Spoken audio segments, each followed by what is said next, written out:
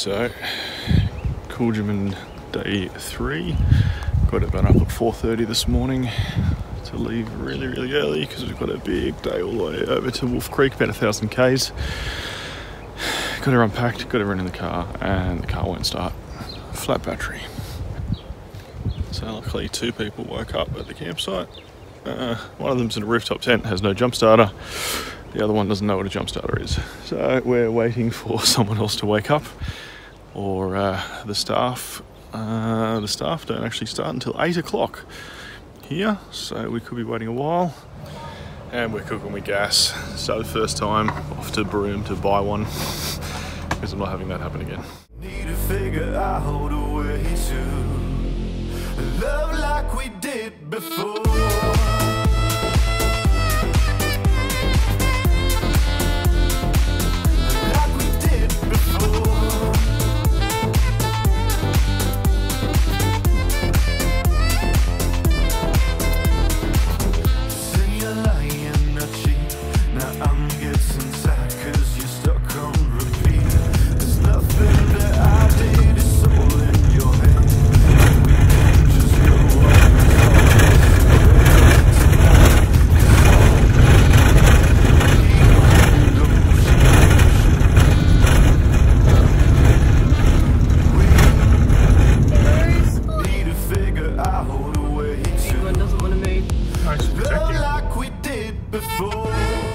Finally made Wolfe Creek Campground. Um, yeah, because we left Kooljaman late because of the flat battery this morning.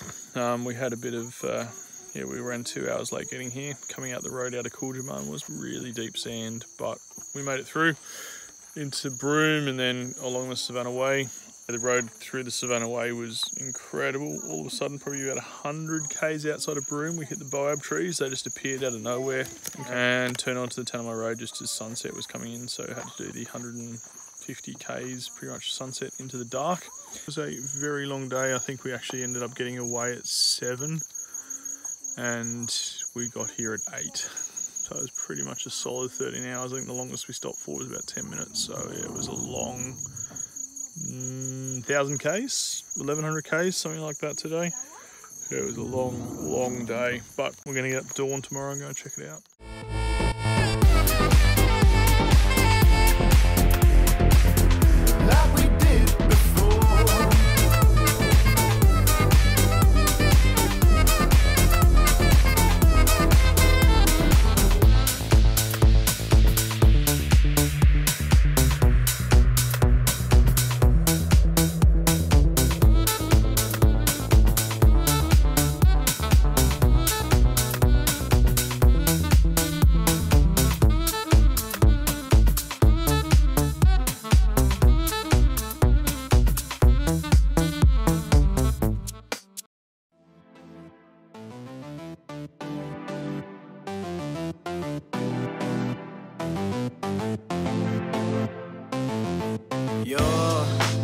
Looking for that white knight to shower you in bright lights.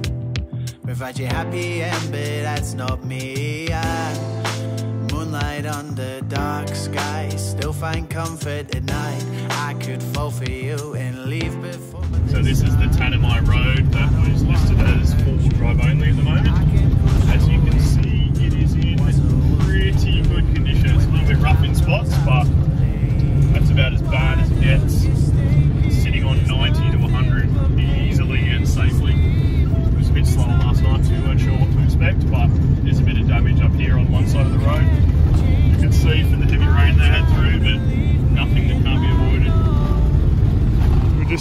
Just had the engine overheat warning light come on.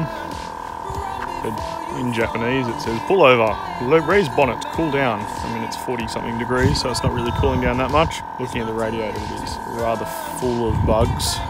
Um, small birds, butterflies, I don't even know, everything in there. So hopefully letting it cool down runs okay. We're off the dirt roads now, so it needs to start overheating on the dirt roads a bit more.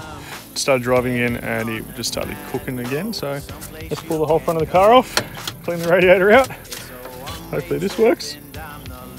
Um, we finally found the leak in the radiator.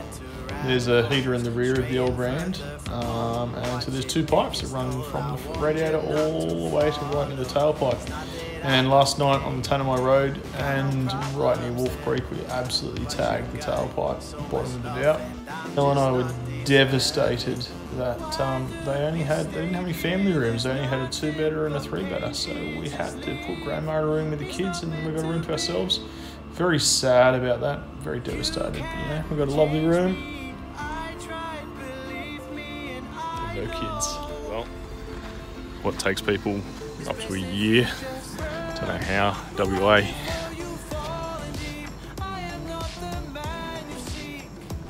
Eleven days we knocked over WA.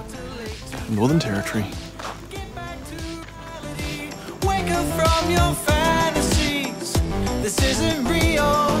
If I was you, I'd run. Why do you stay here? There's nothing but pain here. Just leave. It's not meant to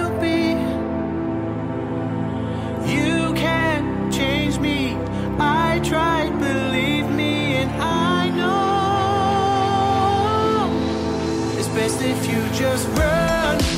Run before you fall in deep. I am not the man you seek.